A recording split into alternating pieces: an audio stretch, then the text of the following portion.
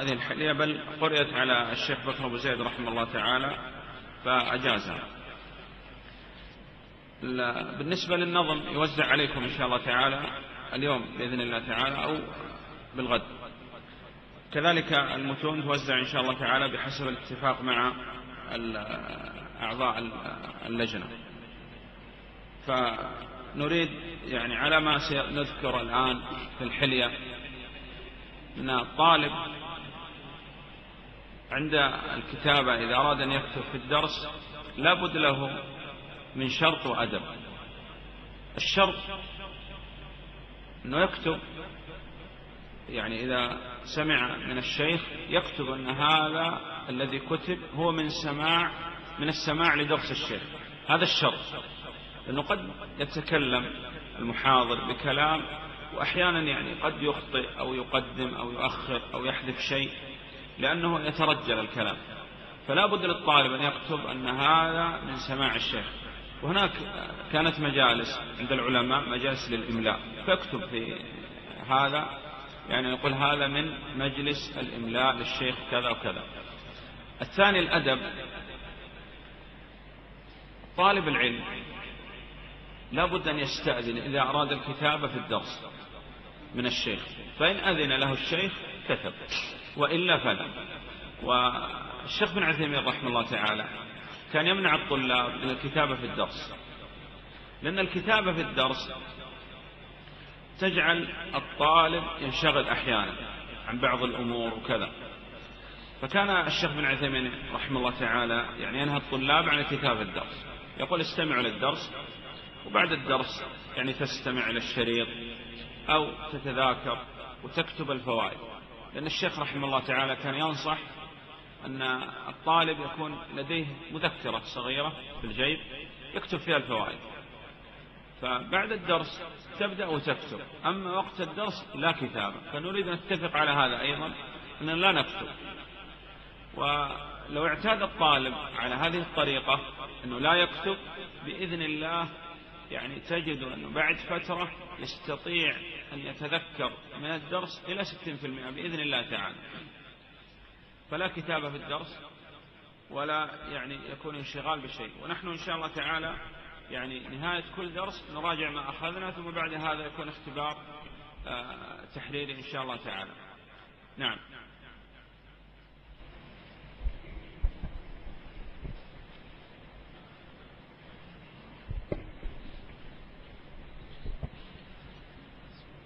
ذات الوشاح تغنت وانثنت طربا وأشغلتك برحل يشتكي التعبا فبت تشرب من كأس الهوى جدلا حتى سكرت فجزت النجم والشهبا. بسكرة العشق لم تبرح تغوص بها فأسلمتك بوادي الخزي منقلبا. لم تعشق المجد لم تكلف بطلبته ولو فعلت لحست العز والحسبا. والعلم أثمن شيء أنت حامله. لو كنت تنصف فاق الدر والذهبا وهذه حلية قد جئت أنظمها. قد سقتها بلطيف القول محتسبا. في ثوب منتظم عن خير منتثر مما تتبعه الشيخ الذي نجبا فصلت أدب الطالب في نفسه. بدأ المؤلف رحمه الله تعالى بالكلام يعني عن فضل العلم. وفضل العلم يعني معروف عند الكثير وأن الله سبحانه وتعالى آه، لم يأمر النبي عليه الصلاة والسلام بأن يتزود من شيء إلا من العلم. قال الله تعالى وقل رب زدني علما. يرفع الله الذين آمنوا منكم والذين أوتوا العلم لم تكن الآية درجة بل درجات. فضل العالم العابد وآيات وحديث كثيرة. كذلك يعني ما ورد من أقوال الأئمة كما جاء عن الإمام مالك رحمه الله تعالى سئل قيل يا أبا عبد الله كنية الإمام مالك قال قيل يا أبا عبد الله رجل محكوم عليه بالقصاص ولم يبقى معه من الوقت إلا قليل ماذا يصنع؟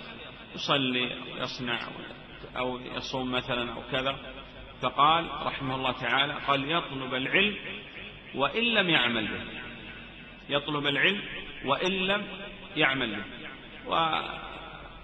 قال الشافعي رحمه الله تعالى طلب العلم أفضل من صلاة النافلة. هل معنى هذا الكلام من الإمام الشافعي رحمه الله تعالى؟ هل معناه أنه يرى أن طالب العلم يترك صلاة النوافل؟ لا. والنبي عليه الصلاة والسلام كان يعلم الناس وكان عليه الصلاة والسلام يقوم من الليل وكذا. فطلب العلم متعدي والصلاة أي صلاة النافلة قاصرة عليه والمتعدي أولى من القاصر. لكن الطالب لا بد أن يجمع كما آه، سيأتي معنا أن العلم عبادة والعبادة لا بد فيها من إخلاص ومتابعة لهدي النبي عليه الصلاة والسلام. أيضا قال الإمام أحمد رحمه الله تعالى قال طلب العلم لا يعدله شيء لمن صلحت أو خلصت نيته على ما سيأتي معنا في أول ما ذكر المؤلف رحمه الله تعالى أن العلم عبادة والعبادة لا بد فيها من إخلاص ومتابعة لهدي النبي صلى الله عليه وسلم. نعم.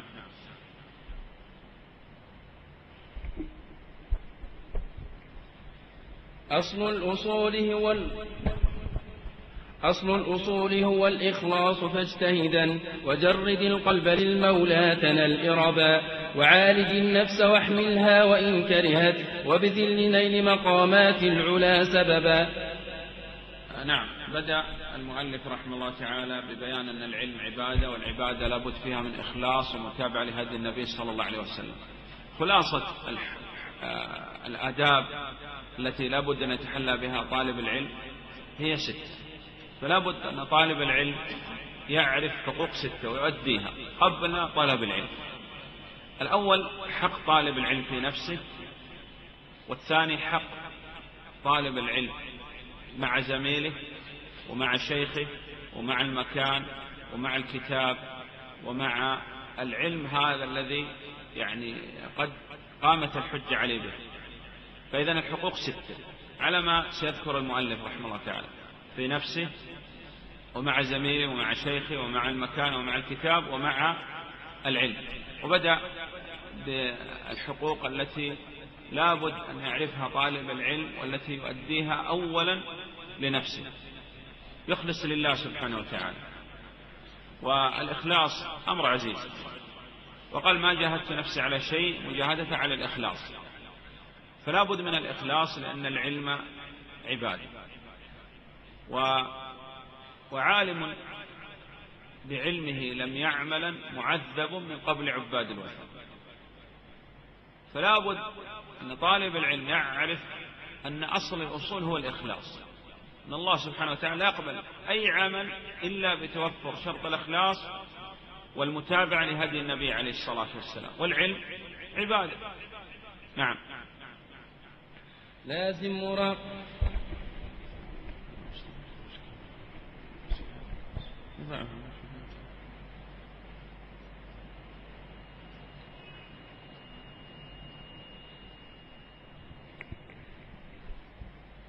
لازم مراقبة المولى وخشيته. وارجع لربك. لازم مراقبة المولى وخشيته وارجع لربك واستعصم به هربا. بل خشية الله أصل العلم قد أخرت هذه المقولة عمن أحرز الرتبا. أعني ابن حنبل من فاقت مناقبه. نجم السماء ونجم الشيخ ما غربا. واخفض جناحك وانبذ كل داعية للكبرياء وألزم نفسك الأدبا. وال... نعم. فأيضا أنه يبتعد عن التكبر والترفع عن الناس. وألزم نفسك الأدب أن تتحلى بآداب طالب العلم. نعم.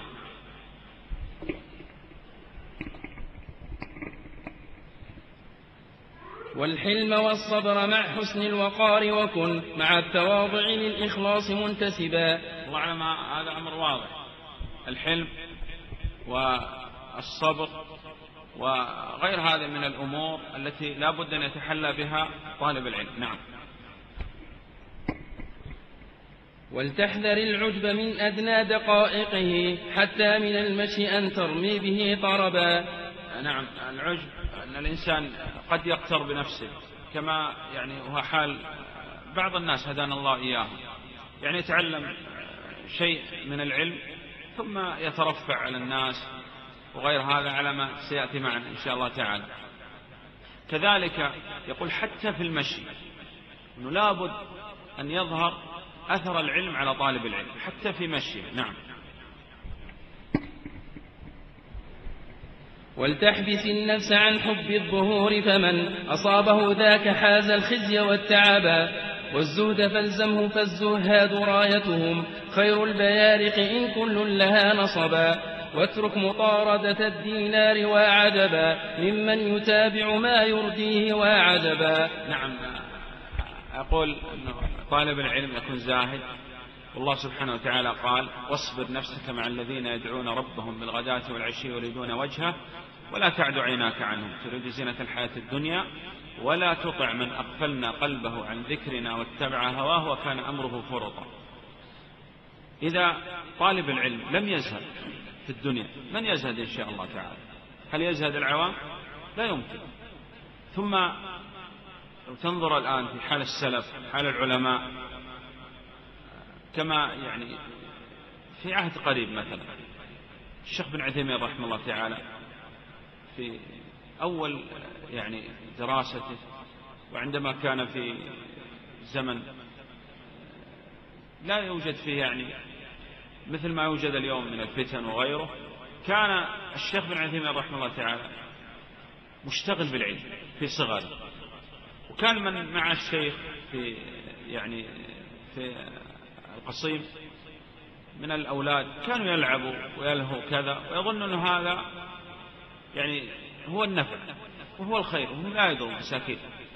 الشيخ بن عثيمين رحمه الله تعالى كان يمر بهؤلاء الأولاد الأولاد يلعبوا الكرة فيقول تعالى محمد العب معنا. والشيخ بن عثيمين رحمه الله تعالى يضع الكتاب على صدره ويقول إن شاء الله إن شاء الله آتي ويفر ويذهب إلى درس بن عثيمين بن سعدي رحمه الله تعالى. أنت لا تظن أن الشيخ بن عثيمين رحمه الله تعالى وصل إلى ما وصل إليه هكذا بالنوم والكسل. لا. أولا بالإخلاص وثانيا بالجد والاجتهاد والزهد. هناك من من عاصر الشيخ بن عثيمين رحمه الله تعالى من الطفولة حتى الكبر. قال كنا في الصغر نلعب وننادي الشيخ يلعب معنا وكان يأبى الشيخ. يقول الآن كبرنا وكبر الشيخ. الشيخ حصل له يقول ما يعني يتطلع إليه كثير من الناس من الزوجة والولد والمال. وحصل له الجاه. نسأل الله سبحانه وتعالى أن يعطيه أيضا في الآخرة كما أعطاه في الدنيا. ولكن يقول نحن يعني في أول الأمر لعبنا وكذا والآن لم يحصل لنا شيء. فلو تنظر الآن في حال طالب العلم وحال العامي تجد العام يكدح في هذه الدنيا وكذا؟ تجد طالب العلم في المساجد في المدارس في الحج في العمرة في كذا. يعني أمور كلها في خير. ومع الله سبحانه وتعالى ومقبل إلى الله. والله لا يمكن يضيع الله. فإذا طالب العلم لم يزهد في هذه الدنيا من الذي يزهد إن شاء الله تعالى؟ ثم لا يمكن أن يكون حديث طلاب العلم أيضا في هذا. يعني تجد بعض الطلاب هدانا الله إياهم يعني يتكلم في هذا في المجالس. وهذه الأمور لا يمكن تليق بطلاب العلم. إنما يتكلم مثلا عن أحدث السيارات أو اللباس. أو يعني مثلا أجهزة الجوال وغير هذا نعم.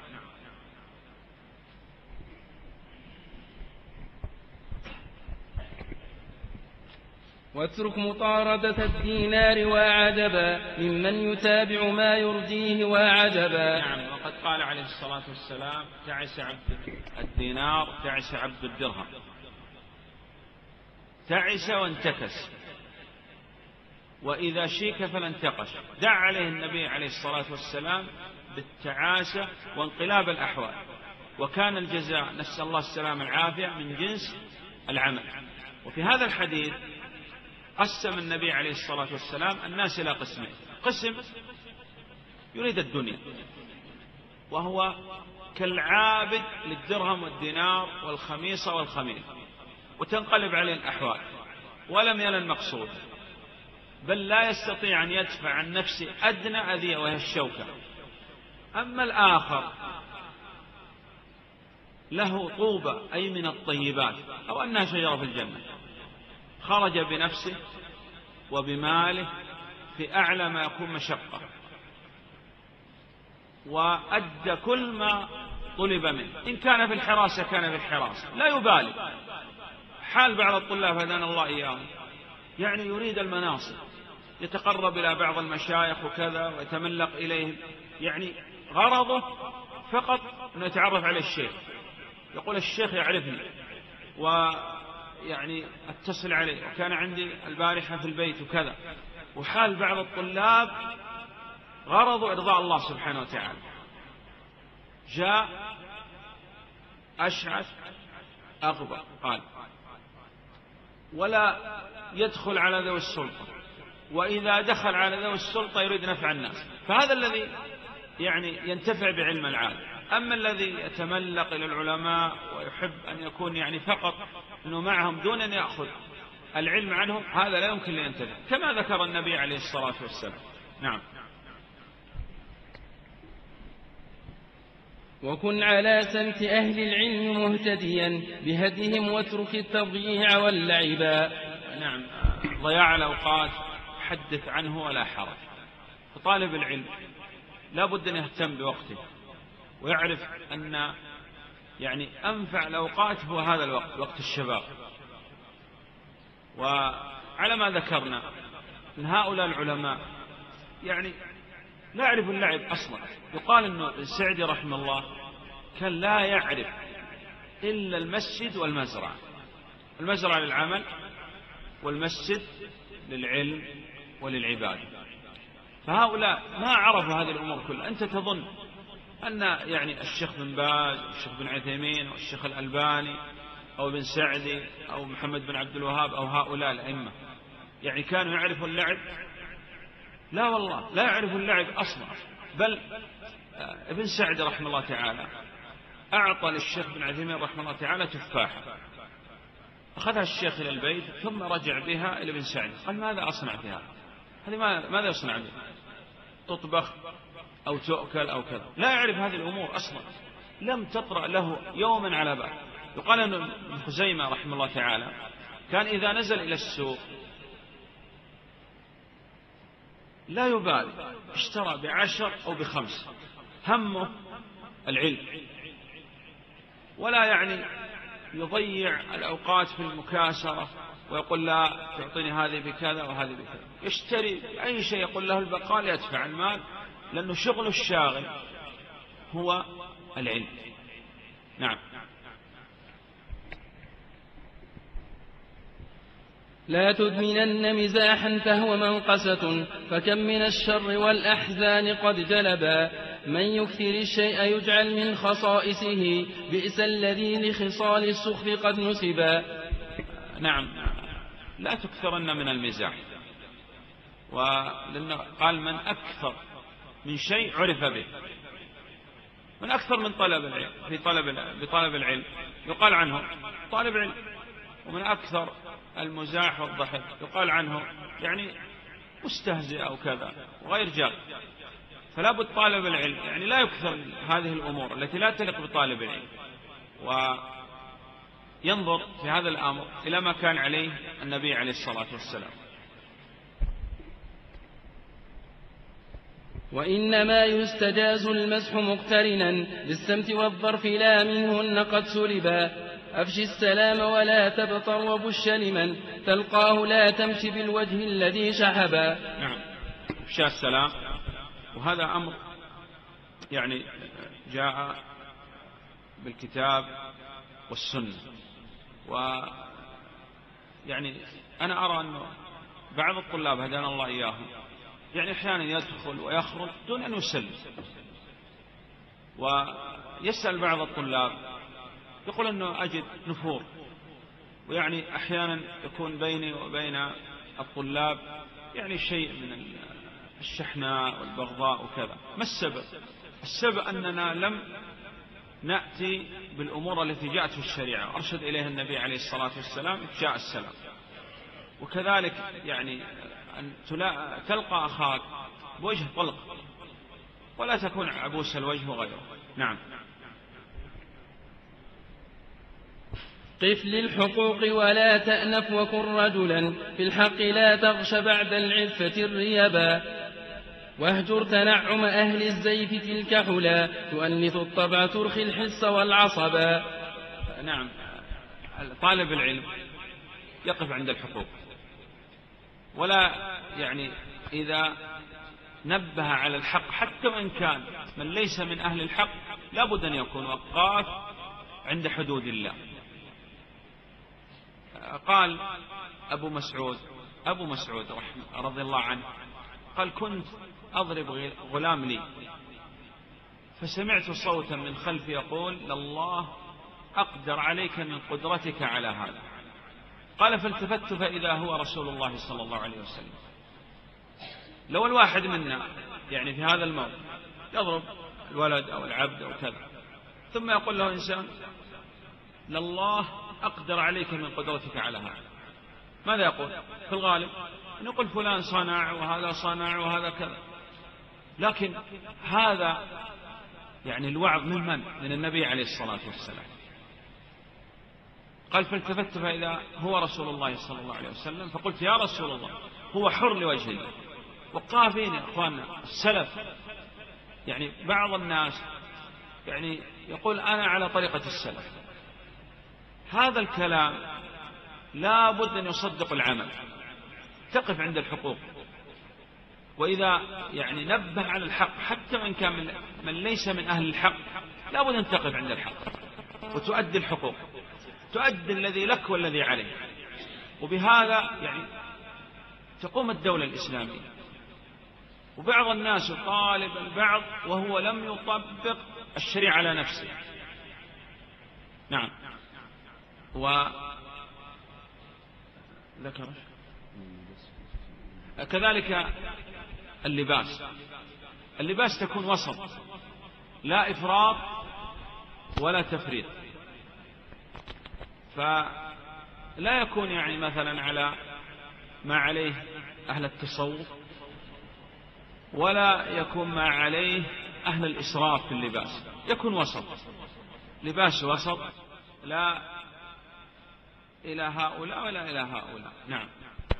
من اللباس تزين ولتكن وسطا لا جالبا سخطا لا مظهرا كذبا. مظهرا كذبا لأن من العلماء من يقول أن الزهد يكون فيما بينك وبين الله.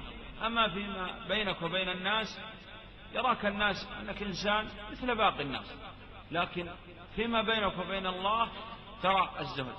حتى ابن الجوزي عفى الله عنه يقول أنه انتهى الزهد بعد ثلاثة بعد الحسن وابن المبارك والإمام أحمد.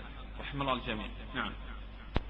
لا تجلسن بناد فيه مفسدة وارفع مقامك أن تغشى به العطبا نعم هذا أمر مهم جدا. فلا يمكن طالب العلم أنه يجلس يجلس مثلا في المقاهي أو في الأماكن التي فيها له ومنكرات وبدع كذلك على ما سيأتي معنا من أن البراءة من الشرك وأهل تكون بالقلب واللسان والجوارح. فلا يمكن أن طالب العلم ولا يليق هذا بالطالب. أن يجلس في المقاهي وأماكن له والأماكن التي يعني فيها منكرات.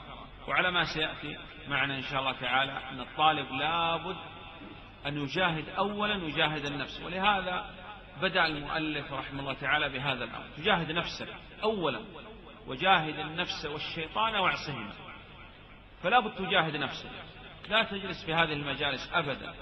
فما بالك بمن يجلس في يعني على مائدة مثلا يدار عليه الخمر أو أماكن فيها محرمات بل فيها من البدع والشركيات فلا يمكن لطالب العلم أن يأتي وهذه الأماكن ويجلس فيها. نعم. حتى الأماكن التي قد يساء الظن بالطالب هذا لا يأتيها أصلا. نعم. صن ما اكتسبت عن الهيشات واجتهدا في حفظ نفسك عما يذهب الأدب. تأمل الأمر تدرك لا تكن عاجلا وللعبارة حرر ذاك قد وجبا نعم تأمل الأمر. لابد أن تتأمل تنظر فيما يعني تسمع وفيما تدرس فتتأمل هذه المسائل وتبدأ تتدبر. ثم بعد هذا لأن أول شيء هو العلم ثم العمل ثم الدعوة ثم بعد هذا تصبر على العلم أولا ثم على العمل ثانيا ثم على الدعوة ثالثا. نعم. فصل كيفية الطلب والتلقي. كيف يطلب العلم؟ كيف يتلقى العلم؟ نعم. يا من سلكت طريق العلم مجتهدا فلتستمع إن أردت البحث والطلبا خذ بالأصول وأتقنها فإن ثبتت فقد ضربت بأطراف العلا طلبا. نعم.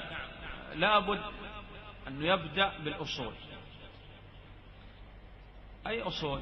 في كل علم لابد أن تجد أن العلماء تكلموا عن هذا العلم. مثاله على ما سيذكر المؤلف رحمه الله تعالى في التوحيد. التوحيد الآن طالب العلم. ماذا يبدأ؟ هل يبدأ بحفظ القرآن أو حفظ السنة أو حفظ بعض المتون؟ هل يدرس التوحيد أو يدرس الأصول أصول الفقه مثلا أو الفقه أو النحو أو الفرائض؟ بماذا يبدأ؟ تجد طالب يحتار في هذا الباب. أي علم يبدأ؟ فلا بد يرجع إلى العلماء ولو ردوه إلى الرسول وإلى أولي الأمر منهم لعلمه الذين يستنبطونه منهم ولولا فضل الله عليكم ورحمته لاتبعتم الشيطان إلا قليلا نحن ذكرنا في أول الأمر أن العلم عباد لا بد من إخلاص ومتابعة لهدي النبي عليه الصلاة والسلام. تنظر بماذا بدأ النبي صلى الله عليه وسلم؟ وكيف علم الصحابة؟ وكيف عمل الصحابة بهذا؟ وكيف علموا الناس؟ فأراد أن يبدأ بالتوحيد دعوة الأنبياء والرسل عليهم الصلاة والسلام ولذلك نحن بدأنا هذا الدرس وأول درس نبدأ به هو التوحيد إن شاء الله تعالى. ونختم به ختم الله لنا ولكم بالتوحيد. آمين. فيبدأ بالتوحيد. الكتب التوحيد كثيرة. أي كتاب يبدأ؟ لابد أن نرجع إلى العلماء. ولا يتكبر. لأنه بعض الطلاب هدانا الله إياه. يقول أنا ما أريد أن أدرس الأصول الثلاثة. لا. أريد أدرس الواسطية أو الطحاوية أو الحموية أو التدمرية. يقول مثلي يعني لابد أن يكون على هذه الطريقة. هذا سبحان الله تعالى. يعني الأصل أن نرجع للعلماء. بالله هؤلاء العلماء. أول ما بدأوا في طلب العلم. بدأوا بالواسطية والحموية والتدمرية والطحاوية. لا. إذا لا يمكن أن تصل إلى ما وصل إليه هؤلاء العلماء إلا بأن تسلك هذا الطريق. والعلماء رحمهم الله تعالى ذللوا لنا هذا الطريق أي طريق طلب العلم. وسهلوا الأمور ولا بد أن تبدأ بالأصول. وإذا بدأت بالأصول يسهل عليك بعد هذا أي شيء يأتيك على ما سيأتي معنا إن شاء الله تعالى إذا درسنا بإذن الله. نسأل الله سبحانه وتعالى أن يوفق. إذا درسنا الدروس المهمة تعرف بهذه الدروس مع أنها يعني دروس يعني مختصرة كذلك الأصول الثلاث. تعرف قيمة هذا المتن أن الله سبحانه وتعالى وضع له قبول في الأرض. وهؤلاء العلماء رحمهم الله يعني أرشدوا أن كل من أراد أن يبدأ في التوحيد أن يبدأ بالأصول الثلاث. لماذا؟ لما فيها من نفع. وهذه أصول ثلاثة تعتمد عليها بإذن الله تعالى. نعم. وابدأ بمختصر واحفظه معتنيا بضبطه عند شيخ في العلا رغبا. تبدأ بالمختصرات قبل المطولات. أولا لابد تبدأ بالمختصرات. لكن من الذي يعني يختار لك هذا المختصر العالم تبدأ بالمختصر. تحفظ وتدرس. وهذه هي طريقة السلف أخوانا. لأنه بعض الناس يعني يرى طالب يحفظ القرآن. يقول لا يا أخي ما هكذا يصنع السلف؟ سبحان الله. هل السلف تركوا حفظ القرآن؟ لا. هل السلف كانوا يحفظ القرآن دون تدبر وعمل لا. كانوا كل يوم يحفظ عشر آيات.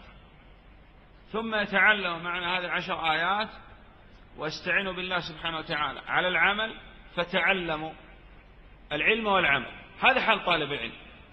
طالب العلم الذي على طريقة السلف لابد أن يجمع بين الحفظ والدراسة والعمل. وذكرنا أن الشيخ بن عثيمين رحمه الله تعالى قال ذهب كل شيء وبقي ما حفظنا. ذهب يقول الشيخ بن عثيمين رحمه الله تعالى كل شيء وبقي ما حفظه احفظ. فكل حافظ إمام. كل حافظ إمام. لكن إذا كان هذا الحفظ مع العمل لأن النبي صلى الله عليه وسلم قال عن الخوارج يمرقون من الدين كما يمرق السهم من الرمية حفظ دون تدبر وعمل. إذا أخواننا الحفظ مهم جدا. قبل أن تدرس هذه المختصرات قلت لابد أن تحفظ. وقبل أن تحفظ تعرض هذا المختصر على العالم لأنه قد تحفظ هذا النظم أو هذا النثر أو كذا وتلحن. لا تعرض هذا أولا على العالم ثم بعد هذا تحفظ. نعم. لا تشتغل بتفاريق مطولة. والله يا أخواننا يعني البعض يعني هو لا يحفظ ولا يريد أحد يحفظ أصلا. فتأتي تريد تحفظ؟ يقول لك لماذا تحفظ؟ ما الفائدة من الحفظ؟ مسكين. هل هؤلاء العلماء حفظوا أم لا؟ إذا أردت أن تكون عالم مثلهم لابد أن تحفظ. وهذا الذي لا يحفظ يريد الناس كلهم مثله. ولكن الذي يحفظ ويضبط المتون ولا يمكن أن تأتي لعالم مثلا وتسأل عن مسألة قال والله يعني هذه المسألة لا أذكر والمسألة الثانية لا أذكرها والثالث هذا معناه أنه ما يحفظ شيء. كيف يكون عالم أصلا؟ قالوا من حفظ المتون يعني حاز الفنون. وبهذا يعني يضبط العلماء المسائل تضبط بهذا بالحفظ. عندهم أصول. لو تنظر في بعض العلماء عندنا يعني لو ترجع إلى بيته تنظر في يعني محتويات مكتبة هذا العالم تجدها يعني دولاب واحد أحيانا والله. لكن هذا الدولاب كل ما فيه داخل رأس هذا العالم. يعني المكتبة ليست بكبيرة. يعني الآن مثلا الشيخ بن عثيمين رحمه الله. البلوغ وتفسير القرآن وكتب التوحيد. هذه أين؟ ليست في الرفوف بل في الصدور. صحيح مقتنيات المكتبة أحيانا تكون قليلة لكن ضابط هذه الأمور كلها. عرف أن العلم لابد أن يسير فيه على طريقة السلف. نظر إلى كتب شيخ الإسلام وكتب ابن القيم ثم بعد هذا ضبط هذه الكتب. لا يحتاج شيء بعد هذا. لكن تجد طالب العلم اليوم مشتت الذهن. يقتني كتب كثيرة ولا يعرف منها شيء. نعم. لا تشتغل بتفاريق مطولة وأنت لم تتقن الفن الذي وجبا نعم هذا ذكرنا أشتغل بمطولات وكتب يعني لا تقرأ أحيانا من الطالب يعني المتقدم. كيف إذا كان طالب مبتدئ؟ فأول ما يبدأ في طلب العلم يأتي واقتني فتح الباري مثلا ويبدأ يقرأ في الفتح. سبحان الله. أو يقرأ في الأم أو في كذا يعني في بعض الكتب أو يقرأ مثلا في تعارض العقل والنقل. هذه لا يمكن أن تكون يعني يعني حتى وإن كان في القراءة. فلا بد يرجع إلى العلماء حتى في قراءة الكتب. نعم. لا تنتقل دون ما يدعو لمختصر من بعد آخر لن تكسب سوى نصبا. نعم هذا أمر مهم جدا يا أخواننا. طالب الطالب أحيانا يعني يتلاعب.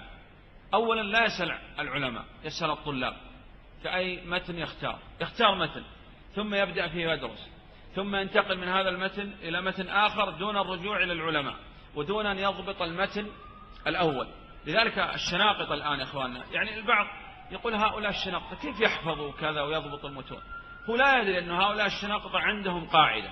وفي ترادف العلوم المنع جاء إن توأمان استبقا لن يخرجا وفي ترادف العلوم يعني جمع الجمع بين أكثر من علم. المنع جاء من العلماء.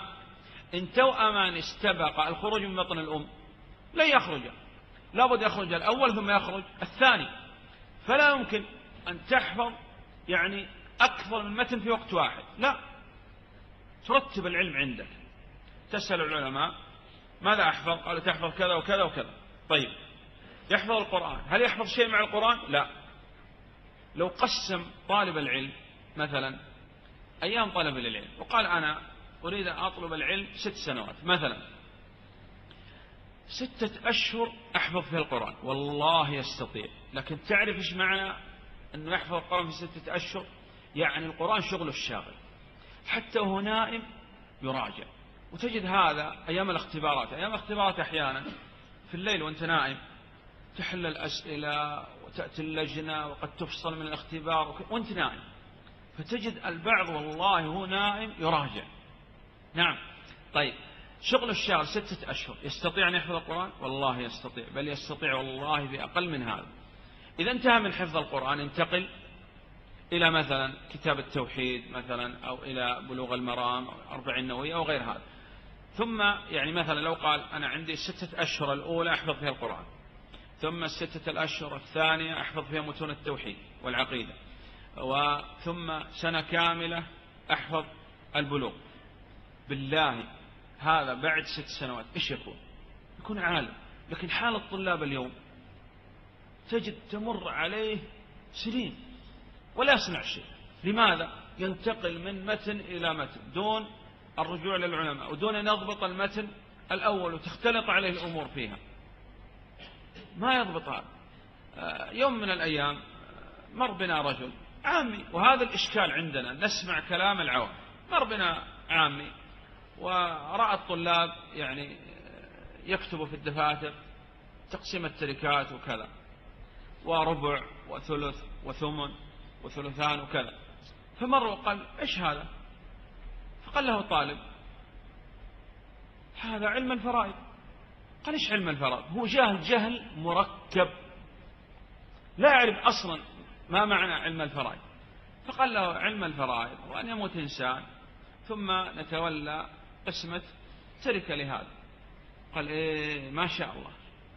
الناس يقتلوا في كذا وفي كذا وفي كذا وأنت تعلم الناس الفرائض في المسجد النبوي. فأنا أقول لهذا وغيره. يعني هؤلاء اللي يقتلوا في كذا وكذا. نحن ماذا نصنع؟ نقسم تركات هؤلاء. أنت إيش تصنع؟ تريد أن نكون خوارج ونخرج ونعصي يعني الإمام نعصي العلماء ونخرج مع هؤلاء بلا علم ولا غيره؟ لا والله ما يمكن. ثم حال الطلاب اليوم على هذا. طالب يبدأ بدراسة التوحيد. يأتي إنسان يقول ماذا تدرس؟ قال والله أدرس التوحيد. قال أي كتاب؟ قال أصول الثلاثة. قال سبحان الله. كيف تبدأ بالتوحيد؟ قبل حفظ القرآن. لابد تحفظ القرآن أول. يقول طيب يترك التوحيد ينتقل حفظ القرآن. يحفظ أسبوع ثم يأتي آخر. قل ماذا تصنع؟ قال احفظ القرآن. قال هذه طريقة خوارج. هل كان هكذا يحفظ السلف؟ قال لا. قال اترك حفظ القرآن. لم هذا أصلا ما يعرف السلف أصلا. ولا يعرف أن السلف كانوا يحفظوا ويتعلموا ويستعينوا بالله على العمل. ثم ينتقل بعد هذا. إلى أين قال؟ طيب ماذا أصنع؟ لا أحفظ القرآن. ماذا أصنع؟ قال لابد تتعلم النحو. والنحو أولى أولا أن يعلم إذ الكلام دونه ليفهم. قال طيب نبدأ في النحو. راح إلى النحو بدأ يدرس. قال لا يا أخي. جاء إليه رابع. قال ماذا؟ قال يا أخي كيف تدرس النحو قبل الأصول؟ ولا بد أن تضبط الأصول أولا. هذا يعني سبحان الله ينتقل من علم إلى علم دون الرجوع إلى العلماء. أخواننا تضبط كتاب وتختبر فيه وتتقنه ثم تنتقل علم الثاني. هكذا كان السلف. بل كان الواحد يأتي إلى عالم من علماء السلف ويلازم هذا العالم ويأخذ كل ما لديه. ثم بعد هذا يجيز العالم فينتقل إلى آخر. نحن نقول على طريقة السلف فقط كلمة تقال باللسان لابد أن يصدقها العمل. نعم. قيد فوائد أهل العلم مقتنسا وبالضوابط فاجمع كل ما صعبا. تقدم معنا هذا أن الشيخ بن عثيمين رحمه الله تعالى أرشد أن الطالب يكون لديه مذكرة يكتب فيها الفوائد لكن بعد الدرس لا أثناء الدرس. نعم. على طريقة أهل العلم فعن بها فهي الصراط لباغي العلم قد ضربا. فقد تدرج أهل العلم في كتب فخذ بما درسوا أنعم بها كتبا. نعم تتدرج حتى تصل إلى ما وصل إليه العلماء. نعم. ففي البداية في التوحيد خذ مثلا. هذا من أحسن ما يكون. أرشد أولا إلى أن تسير على طريقة العلماء الربانيين. ثم أراد أن يبين لك ماذا يدرس الطالب أولا. يدرس أولا التوحيد. ماذا يدرس في التوحيد؟ يبدأ أول ما يكون بالأصول الثلاثة. وهذا إن شاء الله تعالى أول درس نبدأ فيه هو درس الأصول الثلاثة. هذه مقدمة. هذا الكلام الآن يعني الأصل أن يكون معروف عند الجميع قبل طلب العلم. نعم. ففي البداية في التوحيد خذ مثلا متن الأصول لشيخ أحرز الرتبا. ثم القواعد ثم الكشف بعدهما. خذ من نصيبك في التوحيد ما وجبا. الأصول الثلاثة ثم القواعد الأربع ثم كتاب التوحيد ثم كشف الشبهات. لأن من العلماء من يحرم القراءة في كتاب كشف الشبهات. يقول القراءة في كتاب كشف الشبهات قراءة محرمة قبل أن تدرس التوحيد. بل صالح على الشيخ حفظه الله في أول درس في كشف الشبهات قال الذي لم يدرس معي كتاب التوحيد يقوم الآن من الدرس. يقول الذي لم يدرس معي كتاب التوحيد يقوم الآن من الدرس وطرد بعض الطلاب. لماذا؟ لأن كشف الشبهات هذا الكتاب فيه شبهات وقد تقرأ شبهة وتعلق لديك ولا تستطيع أن تدفع هذه الشبهة. خلافا لو أن الطالب درس التوحيد بإذن الله تندفع الشبهات. ولذلك سبحان الله بعض الطلاب طالب علم مبتدئ يذهب ويقرأ كتب المتصوفة كتب الروافض كتب السحرة شعوذين وكذا. ما يمكن. بالله هل هذا كان يصنع شيخ الإسلام ابن تيمية؟ لا. أنت أحسن من شيخ الإسلام؟ لا. الشيخ بن عثيمين رحمه الله تعالى يقول يحرم على الطالب أن يقرأ في الكتب التي ذكرت ما شجر بين الصحابة. هذه الكتب المؤلفة من أهل السنة. يقول الشيخ بن عثيمين رحمه الله تعالى حرام يحرم على الطالب. سبحان الله. لماذا؟ لأنه قد تعلق لديك شبهة وتقع في النفاق. وتتكلم في أصحاب النبي صلى الله عليه وسلم. إخواننا هذا أمر مهم يا إخواننا. قراءة الكتب وسماع الأشرطة لابد فيها الرجوع للعلماء ولا يعني أنت الذي يعني تنصح وتقول هذا يقرأ وهذا لا. الأمر هذا انتهى. يعني العلماء دلوا لك الطريق ما بقي معنا إلا نسلك. ثم أمر مهم جدا يا إخواننا. يعني أنا الآن جئت إليكم. أنا لست بعالم. وهذا أمر معروف عند الجميع والذي لا يعرف يعرف الآن. نحن جئنا فقط هنا من أجل أن نتذاكر ونذكر ما عليه السلف ونستعين بالله سبحانه وتعالى على أن نعمل ونسير على هذا الطريق. لأن ليس لي يعني أعلى منكم يعني بشيء أبدا بل أنا أدنى منكم مرتبة. نريد إخواننا أن نتعاون أن نعرف هذه الأمور التي ذكرها العلماء ونسير عليها. وبهذه الطريقة تسير طيلة الحياة إن شاء الله تعالى. نعم. وفي الصفات فخذ عقيدة كتبت. بعد هذا بعد أن يدرس الأصول الثلاثة وثني بالقواعد ثم كتاب التوحيد ثم كشف الشبهات بعد هذا يأخذ بالعقيدة الواسطية. العقيدة الواسطية شيخ الإسلام ابن تيمية رحمه الله تعالى سميت بهذا الاسم لأن رجل من واسط طلب من شيخ الإسلام أن يكتب له مجمل معتقد أهل السنة والجماعة في الأسماء والصفات وأيضا شيخ الإسلام ذكر فيها وسطية أهل السنة أنهم وسط لا إفراط ولا تفريط. نعم. وفي الصفات فخذ عقيدة كتبت لأهل واسطة فهي العذب منسكبا ثم استمر بكتب الشيخ في صعب مستبطئا لا تكن في العلم مضطربا. نعم كتب يعني كتب شيخ الإسلام وتتدرج فيها. بعض الطلاب يقول كتب شيخ الإسلام صعبة وأنا لا أستطيع قراءة كتب شيخ الإسلام. نقول طيب ارجع للعلماء رجع للعلماء وقال أنا ما أستطيع القراءة في كتب شيخ الإسلام. صحيح ما يستطيع. لماذا؟ لأنه لم يتدرج. هل درست الأصول الثلاثة؟ لا. قواعد؟ لا. كتاب التوحيد؟ لا. ابدأ. بإذن الله تستطيع أن تقرأ. قال بدأت. ودرست الأصول الثلاثة والقواعد وكتاب التوحيد وكشف الشبهات وما استطعت أن أفهم العقيدة الوسطية مثلا أو بعض كتب شيخ الإسلام نقول سهل جدا. ترجع للعلماء. قال العلماء إذا أردت أن تفهم كلام شيخ الإسلام لابد أن تأتي بترجمان. كأنه شيخ الإسلام يتكلم بغير اللغة العربية. وتريد واحد يترجم لك ما يقول شيخ الإسلام. من الترجمان؟ ابن القيم. تقرأ قبل القراءة في كتب شيخ الإسلام تقرأ كتب ابن القيم رحمه الله تعالى. ذهب هذا ورجع قال والله ما استطعت. عندي كلام ابن القيم كالطلاسم ولا أفهم من شيء.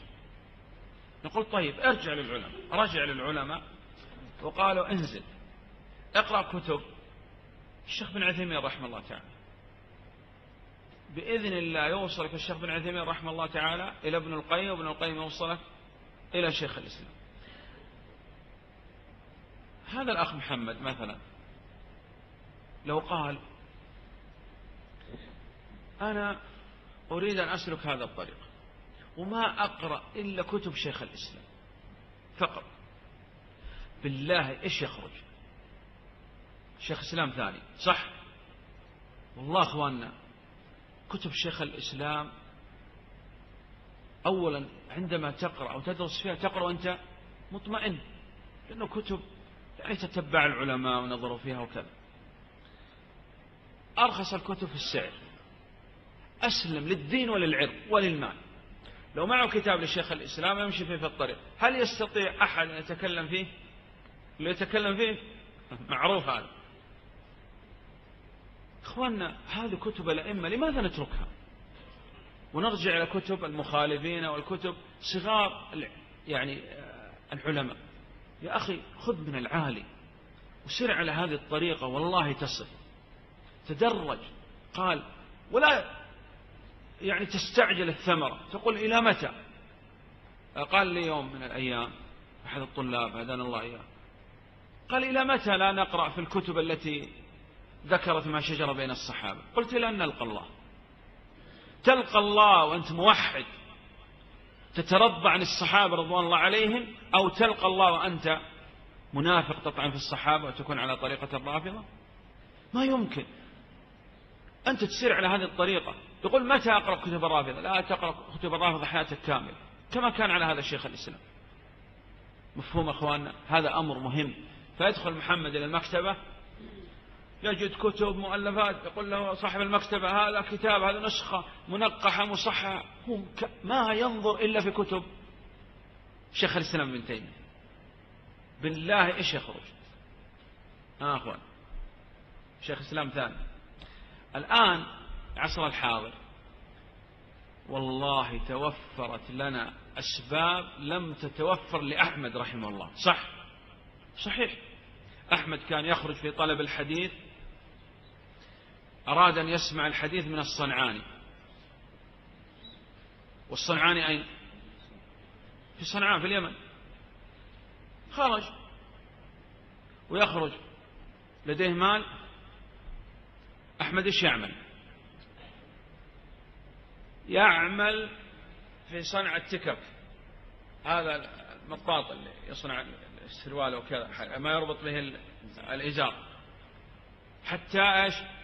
يأكل من كسبه ولا يعني يأخذ من أحد. وإذا أراد السفر يأتي إلى القوافل يقول أعمل معكم حمال إمام أهل السنة. حمال يعمل مع القوافل. لماذا؟ للدنيا؟ أراد ماذا؟ أراد العلم. خرج من من العراق لسماع الحديث من الصنعاني. والصنعاني في اليمن ومر بمكة. عندما كان أحمد يطوف بالبيت وإذا الصنعاني يطوف. فقال من ما أحمد لأحمد قال هذا الصنعاء وكفانا الله المشقة والسفر إلى اليمن. خذ العلم من الصنعان. الآن قال لا. عزمت ألا أسمع الحديث من الصنعاني إلا في اليمن. اليوم يا أخواننا نحن الشيخ بن عثيمين رحمه الله تعالى. وكذلك يعني الشيخ بن باز الشيخ الألباني والشيخ الفوزان وغيره فين؟ في بيتك هو معك في الجوال في السيارة عندك الآن لا تحتاج لا سفر ولا غيره. ماذا عليك؟ تطلب فقط. هل تجد اليوم مثل أحمد؟ لا. مع أن توفرت لنا أمور لم تتوفر لأحمد. ما هو الفرق؟ الفرق شيء واحد الإخلاص. أحمد يصلي بالناس وكان يسمع به إنسان قال هذا أحمد؟ قال نعم. فصلى أحمد بالناس إمام. وسهى في الصلاة. فقال هذا للذي مع أحمد. قال هذا أحمد؟ إمام أهل السنة؟ يسهو في صلاته؟ فقال هذا لهذا الرجل. قال والله إن أحمد لم يذق طعام منذ ثلاثة أيام. الله أعلم نحن والله من فضل الله أنه ممكن ما تمر عليك ثلاث ساعات إلا وأنت تأكل وتشرب. صح. لا تظن يا أخوان أن هؤلاء وصلوا إلى ما وصلوا إليه بالنوم الكسل. لا. وأبيت سهران وتبيت منعما. وتريد بعد ذلك لحاقي؟ لا والله. نعم. والنحو من ملحة الإعراب تبدأه وقد يريد فتى للفهم منتدبا والقطر لابن هشام والشروح على ألفية سلكت في بابها ثربا قوم لسانك بالإعراب واجتهدا فاللحن يشبه في إعدائه الجربا. نعم ثم ذكر أنه طالب العلم يعني وهذا أمر مهم جدا أنه يبدأ بالتوحيد ولا يبدأ بالنحو أولا. والنحو أول والنحو أولى أولا أن يعلم لا. والتوحيد أولى أولا أن يعلم. جاء إلينا رجل من فرنسا مثلا. وراد الدخول في الإسلام. نقول لابد تتعلم أول لغة؟ لا. شرد يأتي تلفظ بالشهادة نعلم أركان الإسلام. صحيح؟ نعم. منها النحو. لا.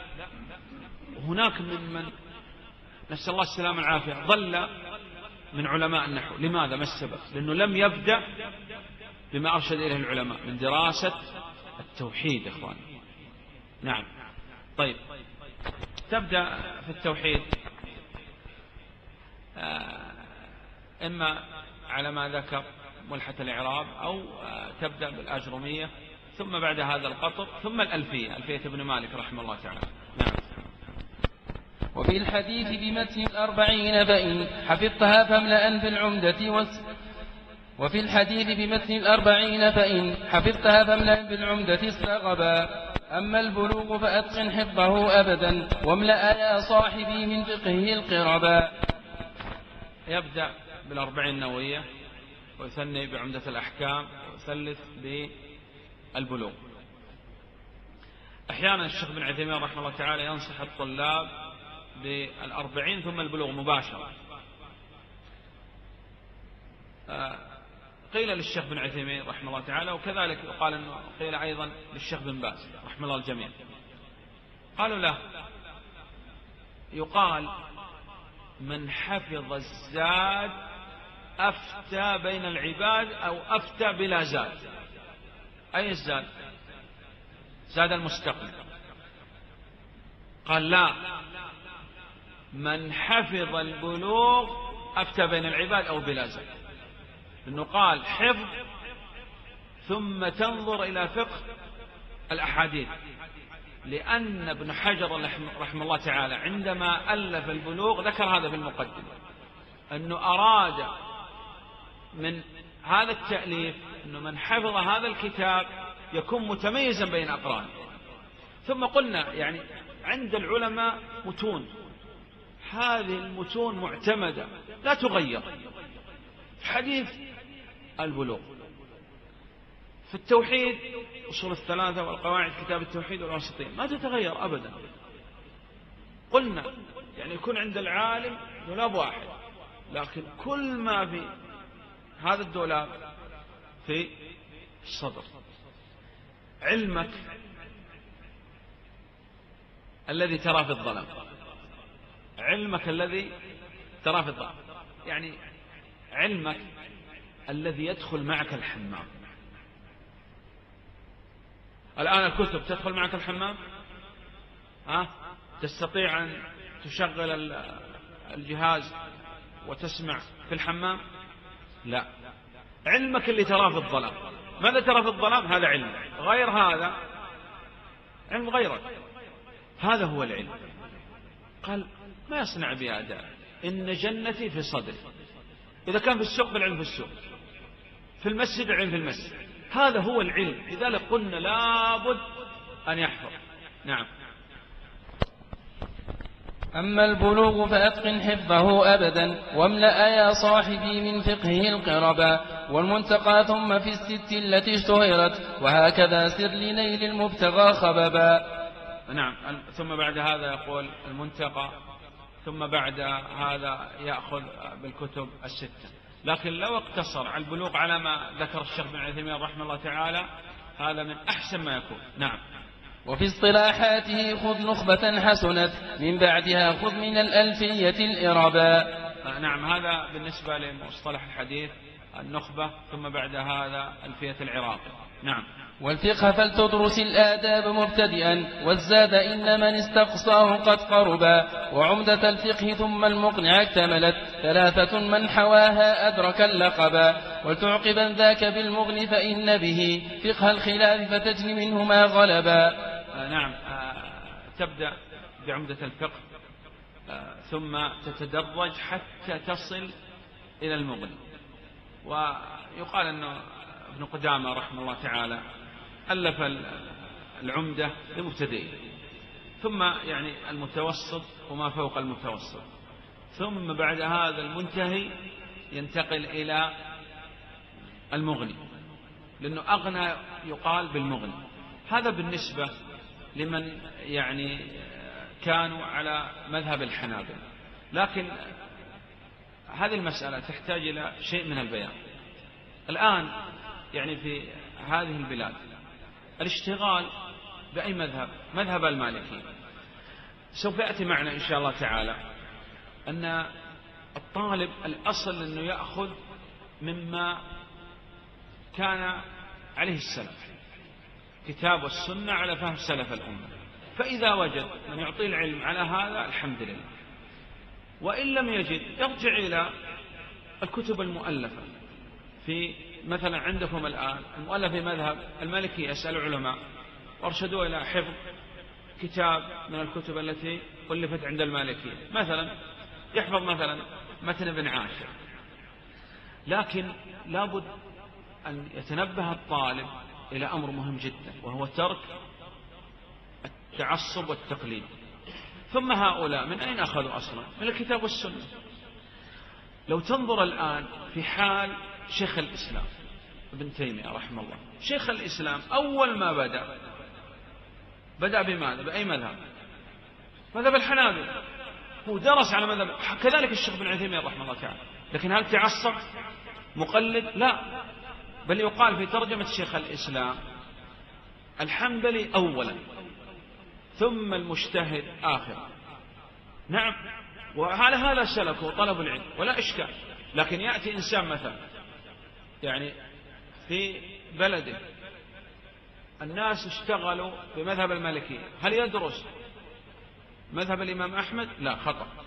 مفهوم؟ نعم. هل يدرس أكثر مذهب في وقت واحد؟ لا يصلح. وفي ترادف العلوم المنع جاء. إن تو أمان استبق ليخرج نعم. وفي الأصول فخذ متن الجويني قد خطه من ورقات من وفي الأصول فخذ متن الجويني ما قد خط من ورقات متنها عذبا. من بعدها روضة للناظر اكتملت فاجن العناقيد منها واقطف العنبا. نعم آه، في أصول الفقه يأتي إما بالنظم نظم الورقات أو نثر الورقات. ثم بعد هذا ينتقل إلى روضة الناظر نعم. طيب. هذا في أصول الفقه. نعم.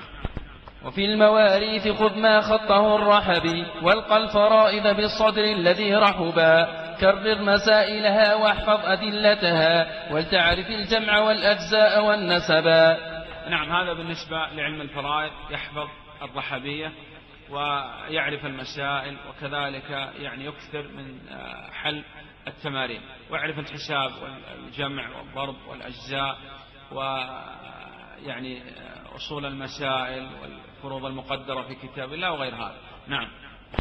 واحفظ من الشعر ما يعطيك مقدرة تحسن بها النطق والتأليف والخطبا أكثر مراجعة القاموس واستفته فإنه الركن يقضي الفصل إن طلبا وهكذا تصبح الأوقات عامرة بالعلم تصبر في إدراكه الكتبا والأصل في ذاك أن تأخذ على رجل يفري بحكته الشيء الذي صعبا نعم يقول بهذا تكون الأوقات عامرة بالعلم وينتقل من العلم إلى العلم لكن لابد أن يأتي إلى عالم ويأخذ منه. فإن وجد عالم لابد أن يلزم هذا العالم. وإن لم يجد قلنا سهل جدا. وما لا يدرك كله لا يترك جله ولا يكلف الله نفسا إلا وسعها. يلتزم أن يدرس عند الشيخ بن عثيمين رحمه الله تعالى. كل يوم يستمع إلى شريط. ولا يترك هذا أبدا. يحدد وقت للدرس مع الشيخ. وبهذا يعني يستطيع أن يسلك إن شاء الله تعالى. والله يا أخواننا جاءني طالب يوم آه، من ليبيا. هذا الطالب يعني جاء إلي وقال أريد أدرس كتاب التوحيد. قلت احفظ وتعال تدرس. لأن عندنا لا يمكن الطالب أن يدرس إلا بالحفظ. قال احفظ ماذا؟ قلت احفظ كتاب التوحيد والأصول الثلاثة والقواعد. قال أنا أحفظ الأصول الثلاثة القواعد الأربع. وأحفظ القول المفيد على كتاب التوحيد. شرح الشيخ بن عثيمين رحمه الله تعالى يحفظ كامل قلت لماذا تحفظ القول المفيد؟ قال أنا في ليبيا مضيق علينا وكذا يعني في ذاك الزمن. ونظرت أنه لا يوجد علماء ولا أستطيع البقاء في المسجد ولا طالب العلم على ما يطلب الناس في المدينة مثلا. فقلت لا يكلف الله نفسا إلا وسعها. قال الله سبحانه وتعالى لا يكلف الله نفسا. وأنا الآن أستطيع أحفظ وأدرس على ما أستطيع. فحفظت الآن وأنا جاهز للدراسة. بعض الناس يظن أن المدينة أو موريتانيا جهاز. تدخل من جانب تخرج من جانب آخر عالم. لا. والله يا أخوان اللي ما يطلب العلم هنا في الجزائر والله لو يروح إلى اليمن أو إلى موريتانيا أو, أو إلى المدينة ما يمكن. طالب العلم هنا إذا بدأ هنا بإذن الله يستطيع أن يمشي ويطلب. الأرض لا تقدس أحد إنما يقدس المرء عمله. فهذا في ليبيا كان طالب علم. تظن أنه عندما يأتي المدينة يكون طالب علم أو لا؟ أما هذا الذي هنا الآن يعني يتأثر يقول لا والله جو الجزائر يعني هذا جو يعني ليس بجو طلب علم وأنا ما أستطيع والفتان وكذا وكذا. طيب يذهب إلى المدينة يجد ما شاء الله الراحة والعلماء والكتب يقول لا والله لا لا ما يصلح هذا المكان لأنه لابد في طلب العلم من زهد وتضييق يعني هذه ما شاء الله راحة وكذا. أنا أريد أذهب إلى منطقة كذا. يذهب إلى منطقة كذا. ها أطلب قال والله يا أخي تعبنا حر وكذا. أخوانا السلف هل تكلموا بهذا الكلام؟ وهذا فيه أننا نسمع إلى من؟ بالله في الجزائر. خرج أئمة علماء في وقت فتن ومحن صح؟ وغيروا بفضل الله. إذا الأرض لا تقدس أحد. فهذا الذي يعتذر يقول أنا والله ما أستطيع طلب العلم. لا في أم البواقي ولا في أم كذا. ولا بد أن أذهب إلى كذا وكذا. هذا ليس بطالب علم أصلا. صح؟ طيب أنا الآن عندكم. أقول أنا ما أستطيع أعلم أحد إلا في المدينة أصلا. هل صنع هذا الصحابة رضي الله عليهم؟ لا. طيب آه، من العادة في الدرس أننا بعد يعني كل ما نختم شيء أننا نتذاكر. فنريد أن تذكروا لي ما أخذنا. من يبدأ؟ ها أخوان سبحان الله. حال السلف كان يتذاكر العلم أم لا؟ يقول أنه التلقي عن طريق السماع فقط إذا تلقيت العلم عن طريق السماع فقط تستطيع أن تستذكر من هذا المسموع تقريبا 15 إلى 20% وإذا كان عن طريق السماع والنظر تستطيع أن يعني تقريبا إلى 40% لكن إذا كان الدرس عن طريق المذاكرة والسؤال والجواب بل هذه طريقة النبي صلى الله عليه وسلم. تستطيع أن تستذكر من الدرس يعني بعد شهر إلى 60% ولو تتذكر من الدرس 60% ما شاء الله.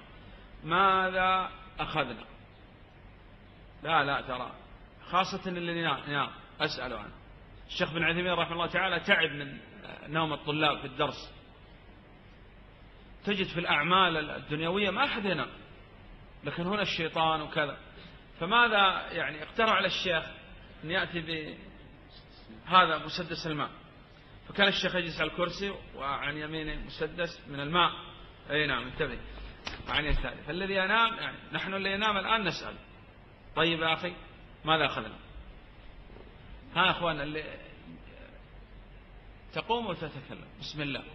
أوقف الله يفتح عليك. كم؟ باختصار.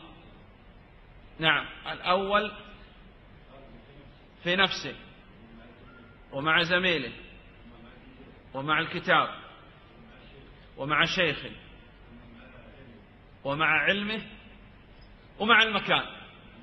الله يفتح عليه ولذلك نريد المحافظة على هذا المكان يا اخوانا حتى يعني تستمر الدورات إن شاء الله تعالى. نعم. اللي عند العمود يا شيخ. اي أوقف. لا لا خلفك خلفك عند العمود. نعم. تفضل. لا بد من الإخلاص. لماذا؟ لأن العلم عبادة والعبادة لا يمكن أن تكون مقبولة عند الله إلا بتوفر شرط الإخلاص ولهذا ندرس التوحيد وشرط المتابعة لهدي النبي صلى الله عليه وسلم. الله عليك اجلس ها أخواننا غيره نعم. لا بد من التدرج. من يوضح لك هذا التدرج؟ العلماء. نعم. وترجع إلى العلماء. غير أخواننا. ما أخذنا شيء؟ نعم يا أخي. يبدأ أولا بالتوحيد. والتوحيد يعني هو الذي نعم طيب ويبدأ في التوحيد بالأصول الثلاثة ثم القواعد الأربع بالله ما حتكلم. ثم كتاب التوحيد اخوانا بالله اتركوا أصول ثلاثة والقواعد وكتاب التوحيد وقلنا بعد هذا كشف الشبهات ثم العقيدة الواسطية. الله يفتح عليك يا شيخ. اجلس. نعم.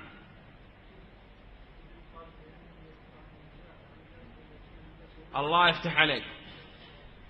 لا تفضل يا أخي لا أكثر من المزاح. حتى إيش؟ لا يجعل هذا ينسب إليه. نعم. يقال الضحاك. نعم ينسب إلى العلم إلى سمت العلماء. طيب. لباس وسط لا مظهرا كذبا كالمتصوفة ولا يعني متشبه بمن تكبروا أو كثير الأخذ بالدنيا والاشتغال بالدنيا عن الآخرة. واصبر نفسك مع الذين يدعون ربهم. وغيره. اجلس فتح الله عليك. ها أخواننا في الخلف. نعم الشيخ نعم يا ما أسمع. لا بد من حفظ المتون. وبقي ما حفظنا. نعم. طيب غير هذا. نعم يا أخي. ارفع صوتك. الشافعي رحمه الله. هل معنى هذا أن نترك صلاة النافلة؟ لا. لا يعني هذا. وننظر في هدي النبي صلى الله عليه وسلم. ثم لأن طلب العلم متعدي. وصلاة النافلة قاصر. الله عليك. نعم. غيره. نعم الشيخ. التواضع وترك العجب والغرور والترفع والكبرياء نعم. طيب. نعم.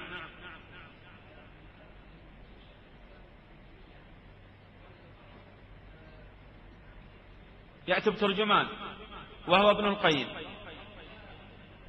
ينزل إلى ابن عثيمين رحمه الله. ودون ابن عثيمين ما في أحد. انتبه. أي سهل جدا. والله يا أخوان لو س... يعني الآن أنت لو تنظر في كتب الشيخ بن عثيمين رحمه الله. وكتب الشيخ بن باز وكتب الشيخ الألباني والفوزان وغيرهم رحمه الله الجميع. تجد دائما يقول قال الشيخ الإسلام قال ابن القيم قال أحمد قال مالك. ما وجد في العلماء إلا هؤلاء؟ وجد. لكن عرفوا أن هذا الطريق هو الموصل بإذن الله. صح؟ نعم. طيب. نعم نعم. أوقف. يعني ليس لنا أن نبتدع طريقة جديدة في طلب العلم. أراد إنسان أن يكون طبيب. هذا الأخ يريد أن يكون طبيب. فراح إلى ذهب إلى العطار. الله العطار صح مو الصيدلية. صاحب العقاقير هذا اللي يبيع الأعشاب وكذا. أي وأخذ بعض الأعشاب وكذا وركبها وأصبح يعطي الناس. يصح. لا يصح. أكثر ما يفسد العالم أربعة. أكثر ما يفسد العالم أربعة.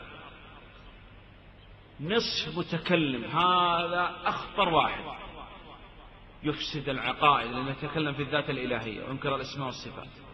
نصف متكلم لأنه لو أصبح إمام في علم الكلام لا بد أن يشهد أن هذا العلم علم ضلال ولا يصلح لكن هذا نصف متكلم. الثاني نصف متفقه. هذا يفسد البلدان. كما هو حال الخوارج. هدانا الله إياهم. يقول بالخروج على السلطان وكذا وعدم الطاعة ويخلط بين الأدلة على العوام. هذا يفسد ماذا؟ البلدان. الثالث نصف نحوي. هذا يفسد اللسان. الرابع نصف متطبب يفسد الأبدان. أخطر واحد. من؟ لا حول نعم. نصف متكلم يتكلم بالذات الإلهية. الثاني في الخطر لماذا نفسد البلدان؟ مظاهرات وكذا وهذه الأمور. نعم. إخوانا في مسائل والله لو سئل عنها أمير المؤمنين عمر رضي الله عنه لجمع لها كبار الصحابة. صح. وتجد بعض الناس يفتي بها. صح. وهذا يأتينا إن شاء الله تعالى. طيب. قال فصل في أدب الطالب مع شيخه. الخلاصة في هذا الباب أن الناس انقسموا تجاه العلماء إلى طرفين وسط. طرفين وسط. كم؟ نعم. وأنت من من؟ دائما إن شاء الله. قسم يغلو في علماء حتى يجعل لهم شيء من خصائص الربوبية. كالمتصوف هدان الله. وقسم يغلو في العلماء قدحا. يسب ويشتم يقول هؤلاء وكذا. وقسم يتوسط. لا إفراط ولا تفريط. كيف نعرف الوسط؟ نعرف الوسط ننظر إلى ما كان عليه السلف. كيف كان السلف يصنع مع العلماء؟ هل كانوا إذا لقوا النبي صلى الله عليه وسلم يتمسحوا به؟ نعم. لا. يقبل الرأس والأيدي والأرجل. أجيبون يا إخوان. لا. يقومون له. لا. لكن كان إذا سئل أحد الصحابة وقيل له صف لي النبي صلى الله عليه وسلم ما استطاع لأنه ما يستطيع أن يرفع نظره في النبي صلى الله عليه وسلم. وسط. حال الصحابة حال التابعين مع العلماء. ماذا؟ وسط إذا لابد أن ننظر ما كان عليه السلف. لا إفراط لا تفريط. وسط البعض الآن يقول بركاتك سيدنا الشيخ. يصح يصح يا مولانا. سئل المفتي عندنا عن قول يا مولانا. قال الله مولانا. والله أخواننا. وهذا مهم عندكم الآن. الشيخ بن عثيمين رحمه الله كان نهاية الدرس وهذا متفق عليه مع الإدارة هنا أنه لا سلام. يعني لأنه أحيانا يعني بعض الطلاب يتكلف وكذا وهذا يعني يضيع أوقات عليهم. فالشيخ بن عثيمين رحمه الله تعالى كان يقول نهاية الدرس يقال لكم بإذن الله قوموا مغفورا لكم. ولا داعي أن كل طالب يأتي ويريد يقبل الشيخ وكذا. المحبة الحقيقية للشيخ تأخذ العلم وتعمل وتدعو. هذه المحبة الحقيقية. أما بعض الناس ينام في في الدرس ويلعب ومتكئ وكذا وإذا انتهى الدرس قال أين الشيخ؟ بسم الله ماذا حصل؟ يقول أحب الشيخ كذاب. والله المحبة الحقيقية أن الشيخ جاء لماذا؟ جاء يريد منك التقبيل؟ ها؟ والتمسح؟ هذا ما يصنع إلا علماء مخالفين لأهل السنة. صحيح يا أخوان. يقول الشيخ بن عثيمين رحمه الشيخ بن عثيمين يعني بنيته صغيرة. فيقول أمشي أحيانا في الطريق ويأتي طالب من خلفه يقول يمسك رأسي هكذا ويقبل ويقول والله يكاد رأسي يقع. هذه محبة للصالحين. ثم يا أخواننا والله ذل وفتنة في اتباع الصالحين يعني في المشي. ثم لو تنظر في حال أهل البدع الآن في الغالب أن هؤلاء أهل البدع هل يسأل العلماء في وقت السؤال؟ لا. يسأل العالم وهو ماشي وهو يأكل وهو يشرب أحيانا عبر الهاتف وكذا. أما في الدرس ما يسأل العالم صح؟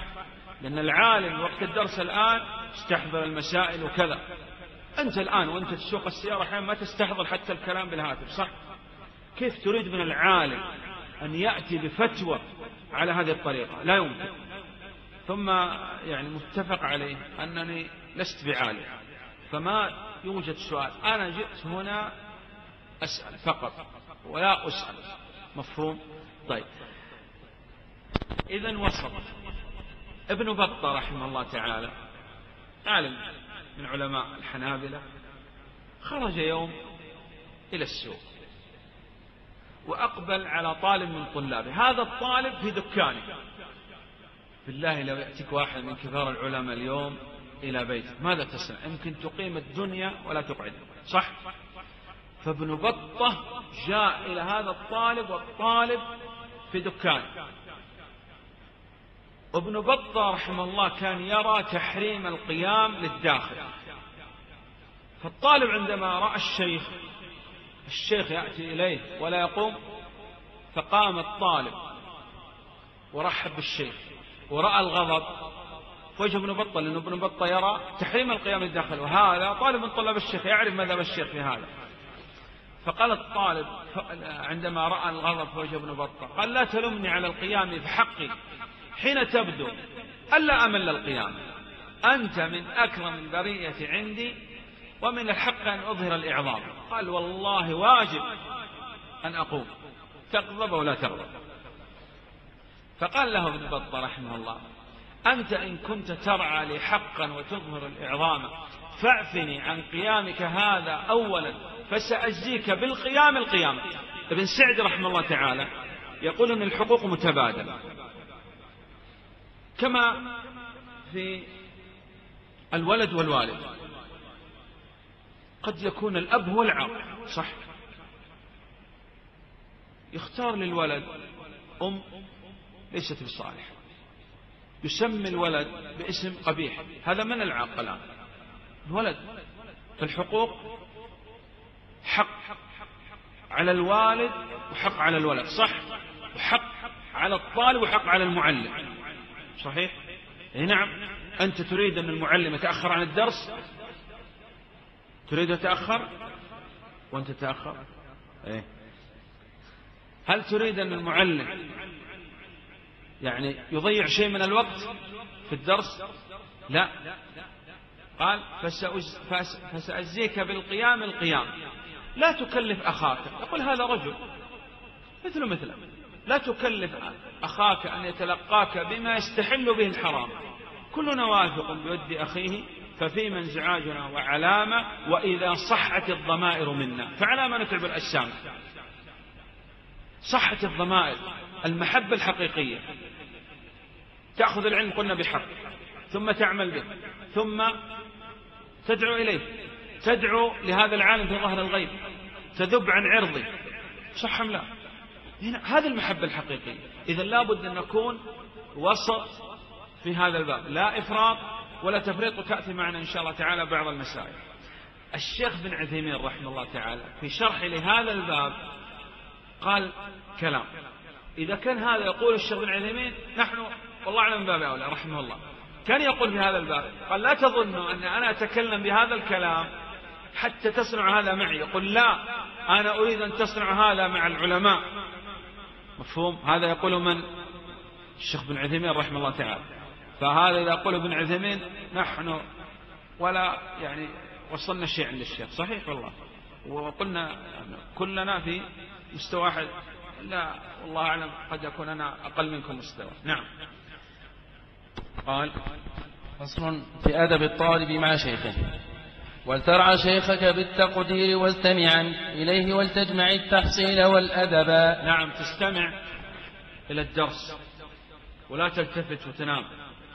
الشيخ بن عثيمين رحمه الله تعالى يقول في درس ابن سعدي أيام كان الشيخ طالب يقول مرت الطيور المهاجرة طيور سرب جميلة جدا في المنظر فرفع الشيخ بصره إلى هذه الطيور. ينظر في الطير لكن أين؟ في درس ابن سعد فقال ابن سعد للشيخ بن عثيمين قال يا محمد صيد العلم أفضل من صيد الطير. يقول أثرت هذه الكلمة في من؟ الشيخ بن عثيمين رحمه الله تعالى. كيف في الدرس ينظر في الطيور؟ فما بالك اليوم الطلاب اللي يتسوق في الدرس واللي يلعب في الجوال واللي يصنع واللي يصنع؟ بالله هل تحب أن المعلم يعني يخرج إلى الدرس ومعه هنا سندوش وعصير أو شاهي صح؟ أو يلعب في الجوال وهو يدرس. ترضى هذا من المعلم؟ كيف وأنت طالب تصنع هذا؟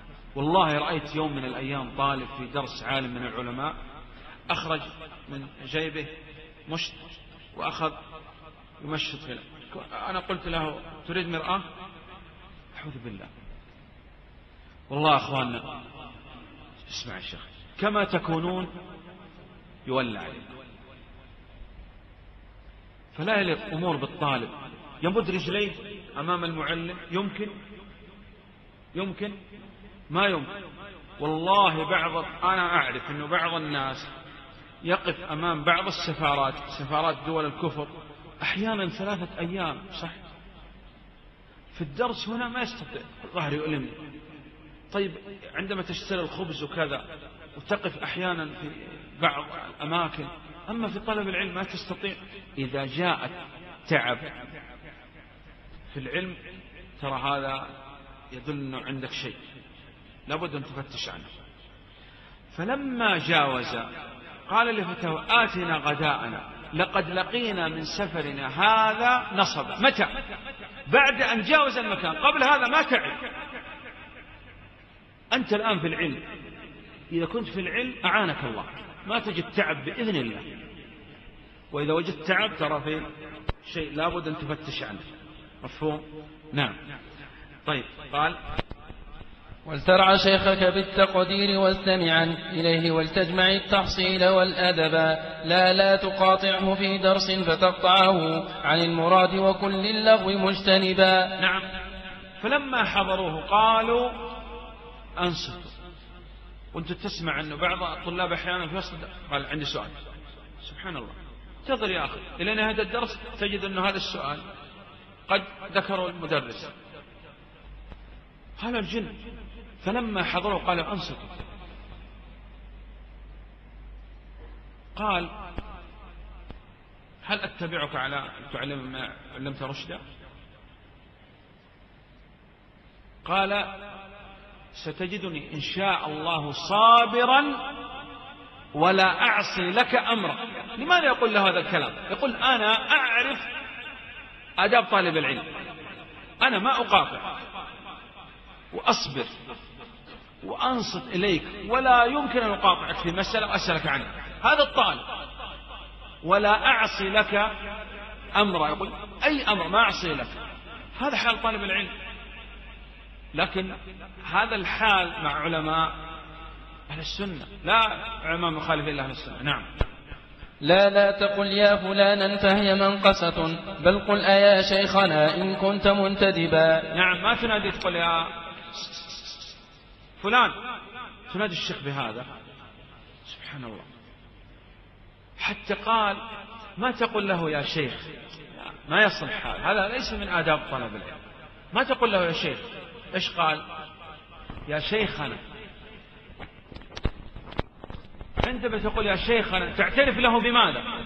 بالفضل أما تقول يا شيخ لا ما يصلح هذا. تقول يا شيخنا تعترف له بالفضل.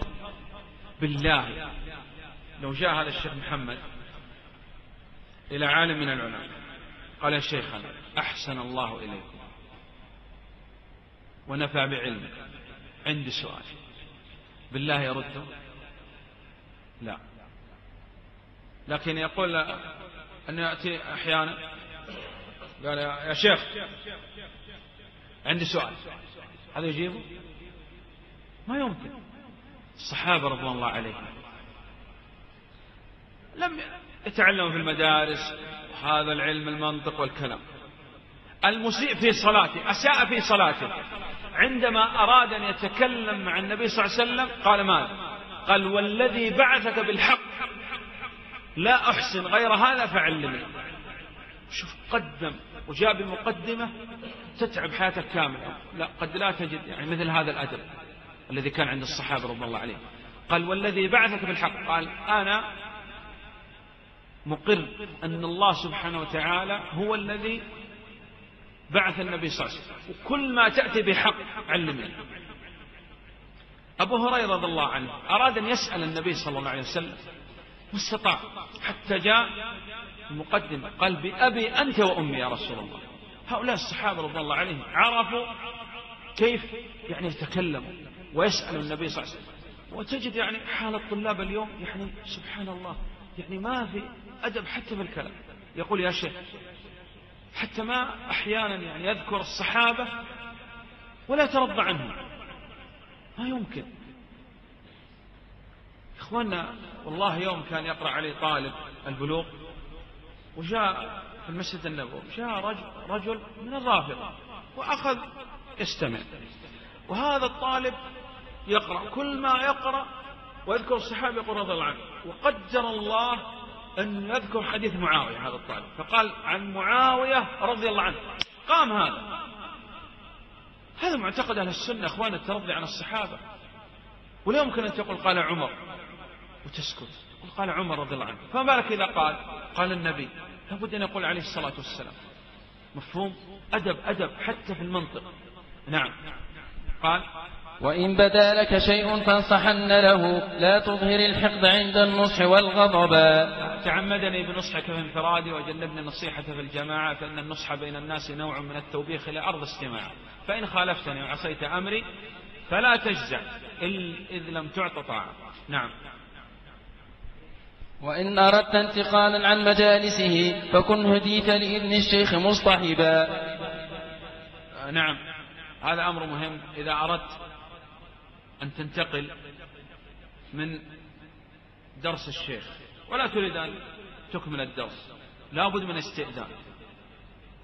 فبدأ بدرس الأصول الثلاث. في الدرس الثالث وقبل أن تنتهي الأصول الثلاثة أراد الانتقال من درس الأصول الثلاثة إلى عالم آخر. لا يمكن أن ينتقل حتى يستأذن من الشيخ. الآن الأب الحقيقي لك. من؟ هو العالم. الآن هل تستطيع الخروج من البيت دون إذن الأب؟ كذلك المعلم. بل سوء أدب هذا؟ أنه ينتقل من درس الشيخ إلى درس آخر دون استئذان لا بد أن يستأذن منه. وهذا العالم ناصح أو لا؟ لم تختر هذا العالم إلا هو ناصح. وناصح لك على ما سيذكر. نعم. فإنه ناصح يعطيك خبرته من نصحه تقطف الرمان والعنبا ولتستزد منه ولتطلب فوائده فالشيخ يخرج ضر العلم إن طلبا ولتكتب الدرس ولتعلمه في أدب. آه تكتب الدرس لكن بشرطين على ما سيذكر قلنا الأول شرط أن تكتب هذا من سماع لدرس الشيخ والأدب تستأذن المعلم. وقلنا إحنا ما أذنا لأحد بالكتاب. نعم. بعد الدرس تجتمع وتكتب الفوائد. فالطريقة أنا أريد يعني من الطلاب الذين يعني درسوا معنا في المدينة وكذلك يعني الأئمة أن يتعاونوا معنا في أن يكونوا عرفاء. وتتقسم يعني نقسم الطلاب إلى مجموعات. حتى يعني يكون بعد انتهاء الدرس إن شاء الله تعالى مذاكرة لما أخذه وتكتب الفوائد وكذا يعني دون وسط لا إطالة ولا يعني يكون وقت قصير. طيب كذلك يكون الانصراف يقول الإدارة يكون من الباب الخلفي من أجل الغداء. نعم. ولتكتب الدرس ولتعلمه في أدب فربما احتجت يوما للذي كتبا واحذر مجالسة الشخص الذي انحرفت. به الطرائق عن درب الهدى نكبا. نعم احذر من التلقي عن أهل البدع. ولا تجالسهم أصلا. بل أنه كان بعض السلف إذا مر بأهل البدع يضع أصبعيه في أذنيه. فقال له يوم من الأيام رجل من هؤلاء من أهل البدع قال لهذا قال أريد أن تسمع مني كلمة. قال والله ولا نصف ما يريد أن يسمع منه شيء. ما بقي في أهل السنة أحد يعلم هذا العلم؟ لا ما يوم. قلنا موجود الحمد لله. وأهل السنة فيهم خير ونفع لله الحمد. نعم. حتى أن بعض يقول أنه يعني أنا أحفظ عند هذا القرآن. هو لا يتكلم بكلمة أصلا. نقول لا. هذا أول الأمر. وهؤلاء يدس السم في العسل. نعم. لا يؤخذ العلم عن أهل الهوى فإذا جانبتهم كنت من أهل الهدى الغرباء. نعم فإذا أردت أن تكون من أهل السنة ومن الذين يعني قال عنهم النبي صلى الله عليه وسلم طوبى للغرباء. لابد أن تكون مع أهل السنة ولا يمكن أن تأتي أهل البدع أصلا. نعم. فصل في أدب الزمالة. آه ذكر المؤلف رحمه الله تعالى أدب الزمالة. مع زميله ماذا يصنع؟ نعم. احذر معاشرة النفع واجتنبا من يبتغي لذة إن كنت مصطحبا. وذا الفضيلة صاحب إذ بصحبته تلقى المكارم والأخلاق والدأبا. المرء على دين خليل والصاحب ساحب إما للخير أو إلى غيره. فالذي يعينك على العلم والعبادة وطاعة الله هذا تلازم. والله هناك من الطلاب من استفادوا من من زملاء أكثر من الاستفادة من العلماء. واسأل. هذا يعينه. بل كان طالب عند الشيخ ابن عثيمين رحمه الله تعالى كان يراجع مع الطلاب ويأتوا إلى البيت ويصنع لهم جدول في السكن وكذا. يقول والله أن هذا الطالب يشدد علينا أكثر مما شدد الشيخ ابن عثيمين رحمه الله. بل قال لي والله طالب يقول والله استفدت من هذا أكثر مما استفدت من الشيخ. لا يعني أنه ما استفاد من الشيخ لكن يقول يعني هذا أفادني في الحياة العملية. أما العلم طبعا من الشيخ استفاد. لكن هذا جعلوا ماذا؟ يعمل بهذا العلم ويحافظ على الوقت. فلا بد إخواننا نتعاون. هذا المدة الآن هي أربع أيام. فتجدوا تجتهدوا في هذه الأيام الأربعة وتتعاون. لا نريد يعني يأتينا أحد ممن هو بجوار المسجد واشتكي يقول والله السيارة وضعت في مكان مخالف. أو الطلاب يعني صنعوا كذا من رمي الأوساخ وكذا. أو يأتي مثلا أحد من أهل المسجد يقول والله المسجد يعني لا نقيم في دورة بعد اليوم قد نكون نحن سبب في منع هذا الخير وقد نكون سبب بإذن الله في استمرار هذا الخير وقد يكون الإنسان مفتاح للخير وقد يكون غير هذا. فأخواننا يعني أوصيكم ونفسي بالتعاون والعمل بما عليه السلف الصالح. السلف الصالح زمن النبي صلى الله عليه وسلم هل يوجد شركة نظافة يوجد؟ زمن النبي صلى الله عليه وسلم في شركات للنظافة؟ ما يوجد صحيح. كل واحد يعرف الذي له والذي عليه. الله أعلم نكتفي بهذا المقدار. نعم. طيب. وذا الفضيلة صاحب إذ بصحبته تلقى المكارم والأخلاق والدأبا والناس مثل القطاء كل فمكتسب لاقى مثيلا له فارتاح واكتسبا لاقى مثيلا له. أنت لابد أن تصاحب من هو أعلى منك ويأمرك بالمعروف وينهاك عن المنكر ويكون ناصح لك. وبعض الناس يعني تقول له أريد أحضر الدرس وأريد أحضر الدورة يقول لا ماذا فيها الدورة ليس فيها إلا كذا ولا كذا. ما في شيء. والبعض يقول لا اذهب. وأنا أذهب معك. وأصنع لك كذا وأصنع لك كذا. نسأل الله سبحانه وتعالى أن يوفق الجميع لما يحب ويرضى. والله أعلم. صلى الله على محمد وآله وصحبه وسلم. ماذا أخذنا؟ ها أخوانا اللي ما شاركوا من قبل. نعم. نعم. اصبر اصبر. في واحد خلفك وبعدين أنت. نعم أنت تكلم. واحد منكم. أدب طالب العلم مع الشيخ. نعم. نعم. الاستماع وكذلك أدب التكلم مع العالم. طيب. نعم يا أخي. إيه. والله ما أسمع. نعم. صحيح. استئذان من العالم قبل الانتقال من درس إلى درس آخر. كما يستأذن من والده. الله يفتح عليه لماذا؟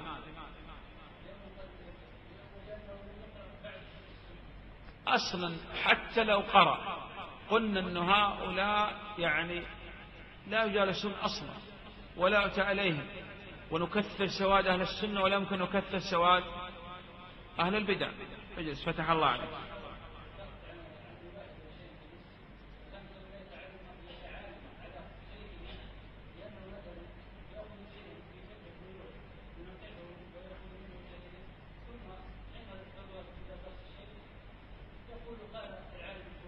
صح. أي طيب. الله يفتح عليك. نعم.